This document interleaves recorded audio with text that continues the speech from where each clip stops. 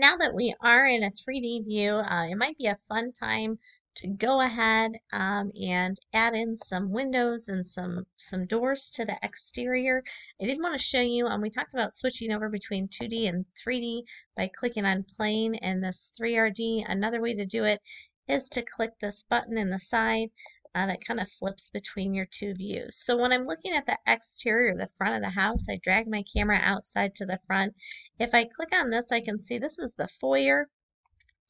Um, and then if I click to the left of there, I can see um, that I have some room definition. So I know exactly where I should place my exterior doors. So I'm looking over here now um, on the spotlight, I can click exterior door or I can go to building uh, and look at the doors there. Uh, but for now, I'm just going to do a search and come down and look for a door that I think would make a nice exterior door uh, for my home. So I'm going to select this one here uh, and then kind of drag it over. Um, right now I'm just using my mouse. I'm not clicked down on anything. And when I want to place it, I click once and it places the door exactly where it needs to go. Now I can go through and add in some windows. Um, so if I click on the shovel and go to windows,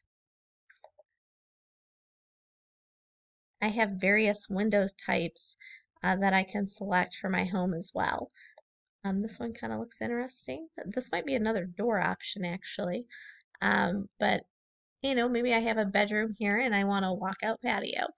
Um, so I can go ahead and move it and click it to place it. And then finish looking uh, for my other windows.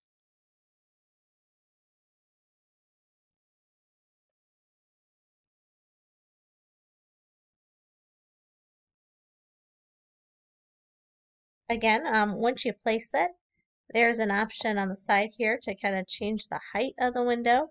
You can also change the width or the length of the windows.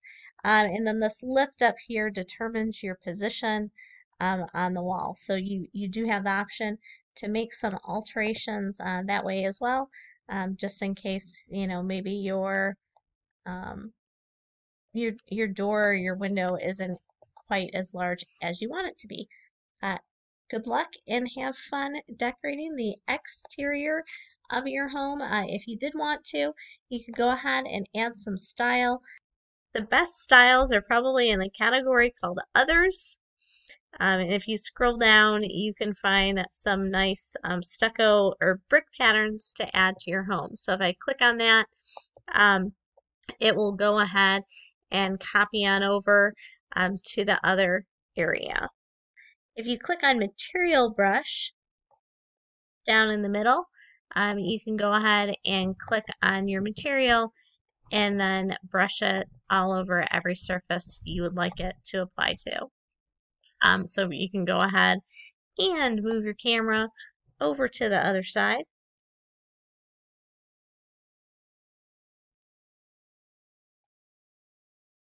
Uh, and I'm going to use my arrow keys because I do not see my camera on um, the symbol to the right.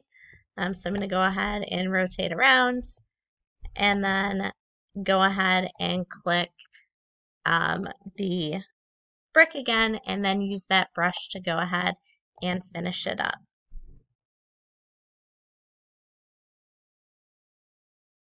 So here is my brick pattern.